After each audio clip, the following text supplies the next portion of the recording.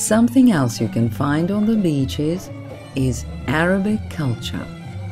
Although I've forgotten the name of this location. If you're coming to Cannes, this is a location opposite the Carlton Hotel. In the evenings, here, they have oriental dances.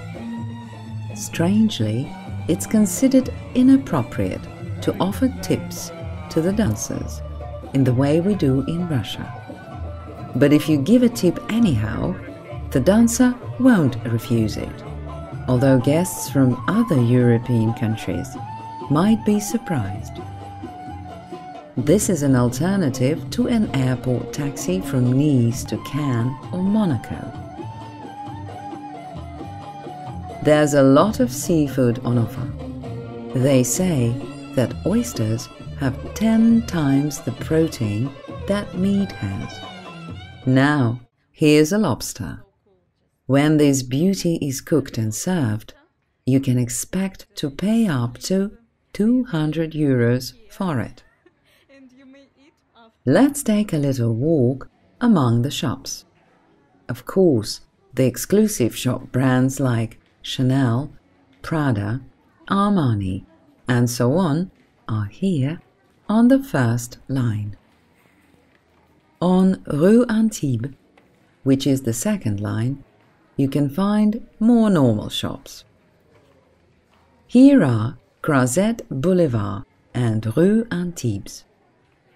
You can sit and relax in a cafe here, shelter from the sun, or just take a stroll.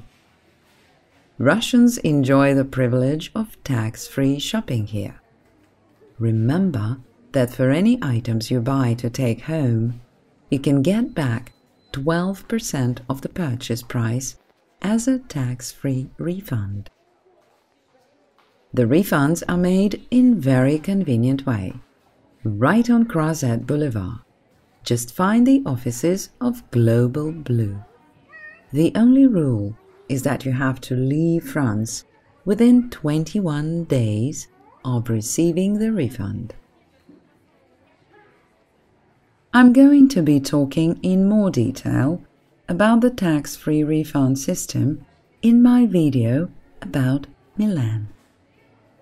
It's a system that operates throughout all countries of the European Union. You can also get more detailed information about the tax-free refunds in the offices of Global Blue on Croisette. They even have information in Russian. Let's say, for example, that you've spent 3000 euros on shopping items. You just go to their office on Croisette, taking with you your passport and the special tax-free form. You will also need your credit card but be careful. If the validity period of your credit card is less than six months, you can't get any refund. It means that they need a copy of your credit card as a guarantee. Concerning the documents you need to claim your refund, you will be given a tax-free claim form when presenting your passport in all the participating shops on the day you buy your items, but not later. At the Global Blue office, they will give you your tax refund either in cash or by transfer to your credit card. The choice is up to you. If you have spent 3,000 euros, then you will get a refund of roughly 320 euros. If you spend your money in Monaco, which is a one hour drive from Cannes, you cannot get a tax free refund on those purchases in Nice airport. The reason is because they are two separate countries, so be careful. I ended up in exactly that situation myself, where they give the tax refunds on purchases made in Monaco I've still not yet found out. One other thing is that you might come during the sales season. which starts in Cannes from the 3rd of July.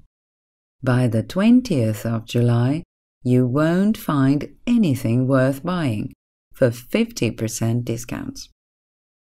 Everything sells out quickly. The best plan is to arrive at the start of the sales.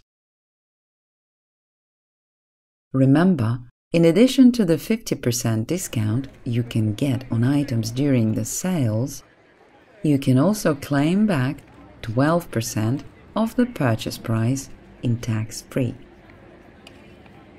I decided I wanted to show you the red carpet on which the Cannes Film Festival stars promenade.